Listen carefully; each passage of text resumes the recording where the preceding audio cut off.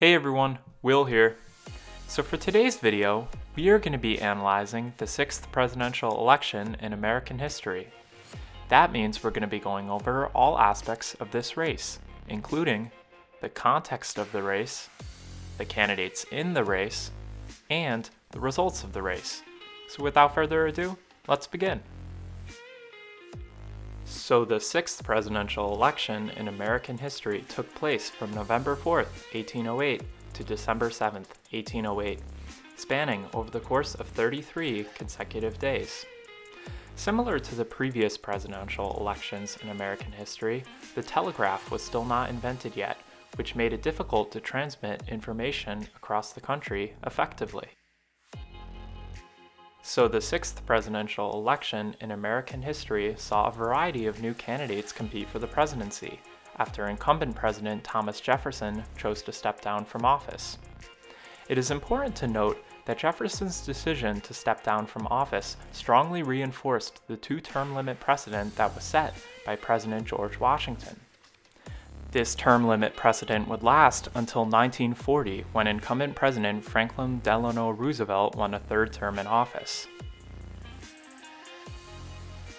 Thomas Jefferson's absence in this election caused a major policy rift within the Democratic Republican Party, with some Democratic Republicans supporting a limited federal governing philosophy that characterized Jefferson's first term in office, while some Democratic Republicans began to support a stronger and more centralized style of federal governing that characterized Jefferson's leadership in his second term as president. U.S. Secretary of State James Madison represented the faction of the Democratic Republican Party that supported a more centralized style of federal governance. James Madison was known for being a key player in negotiating both the Louisiana Purchase and the Compact of 1802, two major policy accomplishments made by the Jefferson administration. Meanwhile, former U.S. Ambassador to Great Britain, James Monroe, represented the faction of the Democratic Republican Party that supported a limited federal governing philosophy. So although President Thomas Jefferson was generally popular in his second term in office, one of his major policy enactments led to a heated primary election in the Democratic Republican Party.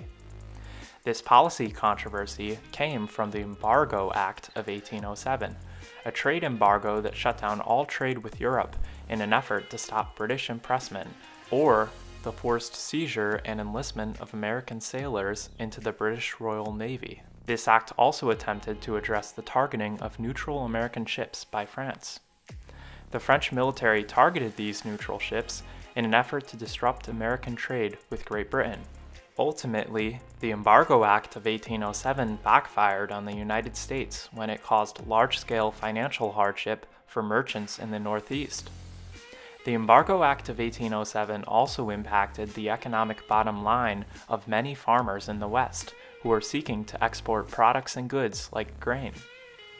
This led James Monroe, a critic of the Embargo Act of 1807, a great deal of credibility with disenfranchised Democratic Republicans.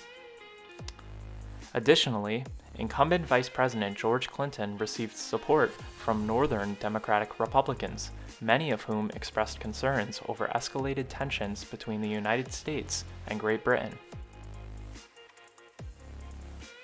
Democratic Republican Party nominations for President of the United States and Vice President of the United States in 1808 were made by a Congressional Nominating Caucus. Meanwhile, Federalist Party nominations were made through a national convention that was held in New York. Even after the Democratic Republican Party nominated James Madison as their party's nominee for president, some supporters of James Monroe and George Clinton refused to accept the results of the 1808 Democratic Republican caucus. Although James Monroe did not actively run against James Madison in the 1808 general election, he chose to not publicly withdraw himself from the race. Additionally, Democratic Republicans chose to keep George Clinton as their party's nominee for vice president, even after several other candidates announced their intentions to succeed Clinton as their party's nominee for vice president. These other competing candidates included former Senator John Langdon of New Hampshire, U.S. Secretary of War Henry Dearborn, and Senator John Quincy Adams of Massachusetts. On top of this, some Democratic Republicans from New York still supported George Clinton for president, highlighting the major divides that were present within the Democratic Republican Party.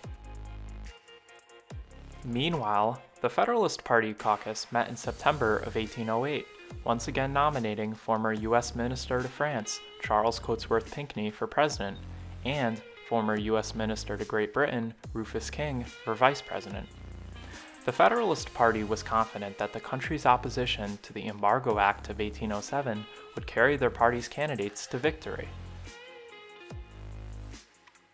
The final results of the election ended up proving that Thomas Jefferson was still very popular to a majority of the voting populace.